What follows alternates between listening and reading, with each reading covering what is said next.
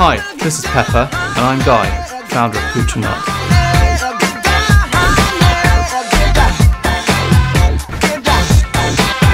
Safe distancing as per government guidelines.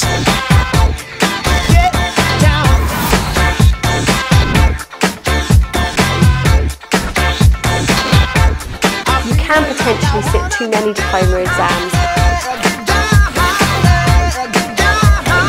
¿Quién reclamará la gloria eterna?